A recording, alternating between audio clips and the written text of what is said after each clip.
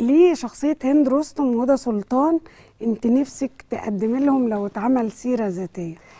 آه، هند رستم كانت أيقونة الجمال والإغراء وبدون ابتذال يعني. يا ريت إحنا بس نفهم الإغراء بدون ابتذال لأن دلوقتي بقى في خلط بينهم وبينهم شعرة.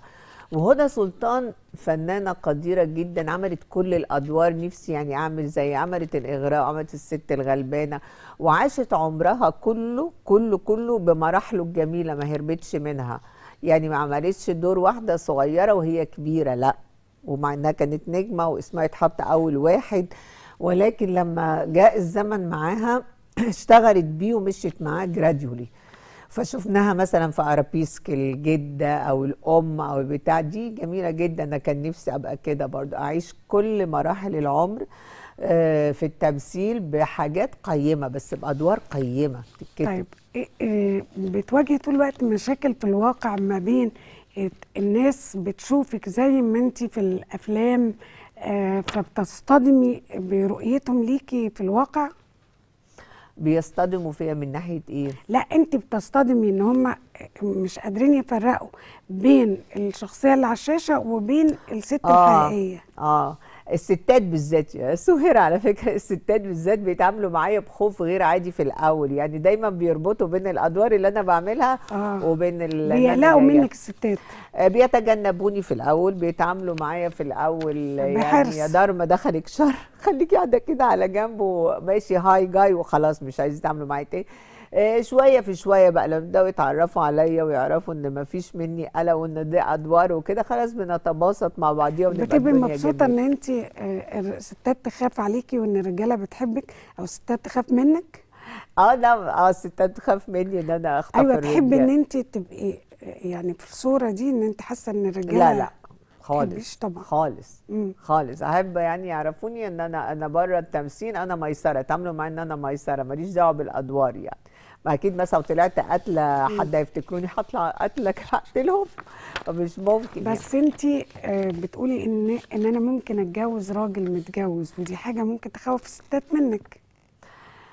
لا ما أنا برضو قلت لهم ووضحت إن أنا لازم أقابل الست قبل ما أتجوزه أشوف هي موافقة ولا مش موافقة واعرف إيه الأسباب. ما هو الراجل بيقول أسباب كتيرة جدا وهو لكن. الحقيقة بتتعرف من الاثنين افرضي قابلتيها وقالت لك أي حاجة وهي مغلوبة على أمرها.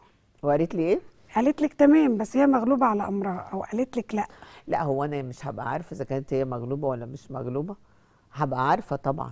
لا أصل وأنا عمري ما هتجوز راجل يعيش ست مغلوبة على أمرها. في ست هتوافق عمري أصلا؟ عمري. أيوه في ست هتوافق أصلا إن إن جوزها يتجوز عليها؟ آه.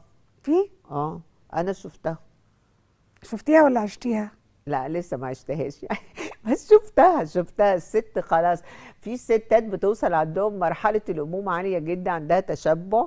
حياتها ملانة جدا بولادها وزوجها وشغلها والراجل عايز اهتمام. طبعا ما هو طفل معاكي ما هو ده طفل كبير. فالست ما فيش عندها وقت. برضو الست مضغوطة جدا ما بين بتذاكر وما بين بتشوفها وما بين بتعمل. هي بتبقى منهكة exhausted خلاص مش قادرة تديه حاجة وهو يعني عايز حاجة. يعني انت بتدي العذر للراجل ان هو يتجوز مرة تانية.